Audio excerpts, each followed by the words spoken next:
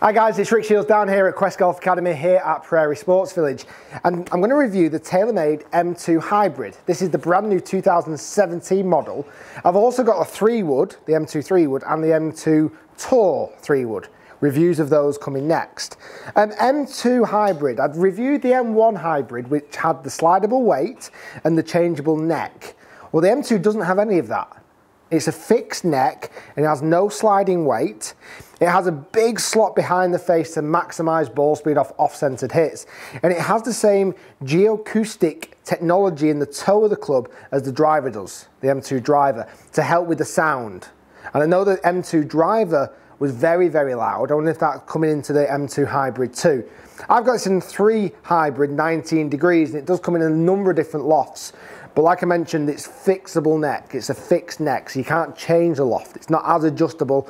Um, but because of the less dancing features, I don't think it's as expensive as the M1. On top, looking down, we have the white and black contrast. And I love the white contrast in this. It's really thin, the front edge, and it's slightly raised up. The back edge, the, the actual white lip of it, slightly raised and has that toe slash heel wrap around, really dark black head um, after that. And it just looks awesome. Really shallow looking club head. Looks aerodynamic when I sit it down behind the ball as well. It's probably, oh, how could I describe it? A fraction deep in the face. I'd probably like to see a hybrid a little bit shallower in the face. That's just a fraction too deep as I'm looking down at it. But let's give it a hit and see how it performs. I'm hitting Real Pro V1s on GC2 HMT.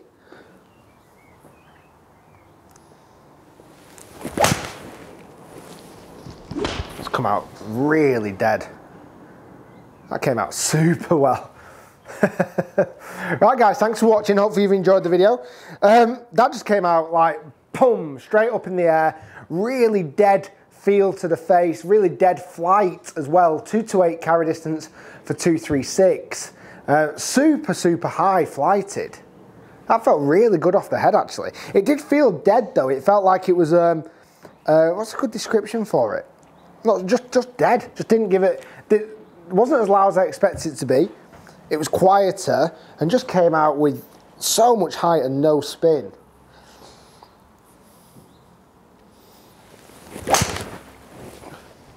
Oh yeah, I'm a big fan of that flight.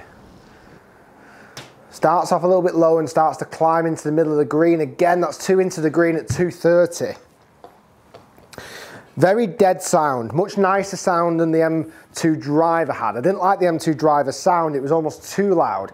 This doesn't seem to be the case. It's nowhere near as big a head, so it's never going to give the volume of sound that a driver would do.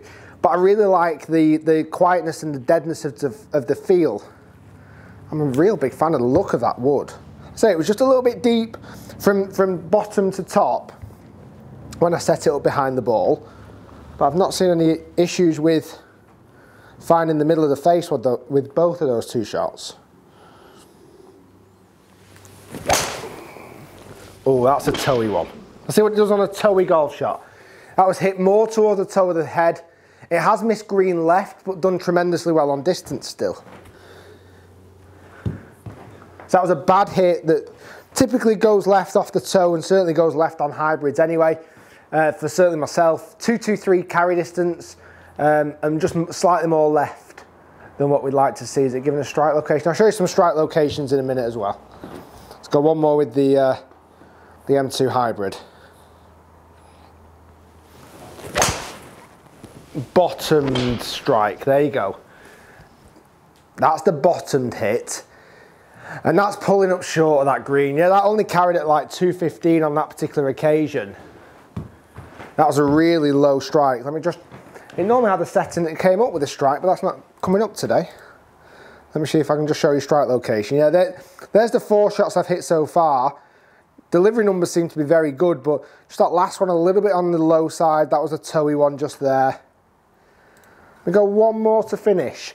I feel like just the only thing that I would love to see different on my own personal opinion of this M2 is a slightly shallower head. After that, it feels great. I love the feel of the head. It feels dead, but it, I like that feeling.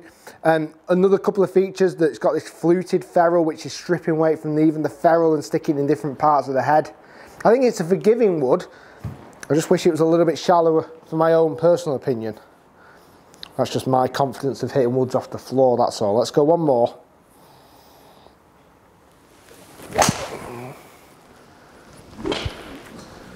And that's off the planet. oh, that's a terrible golf shot. I said I should have finished that review on the first shot. What did I say? Let's go one more with this hybrid. Got to finish on a good one.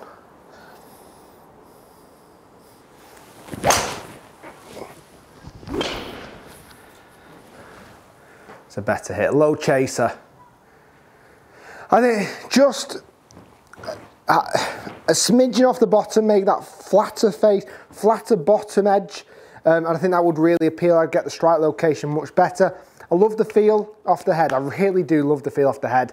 That slot behind the face, off the bad ones, it did give decent forgiveness. There was a decent level of forgiveness. On the terrible shot that I hit right, that was all me. Nothing to the club, that was all me.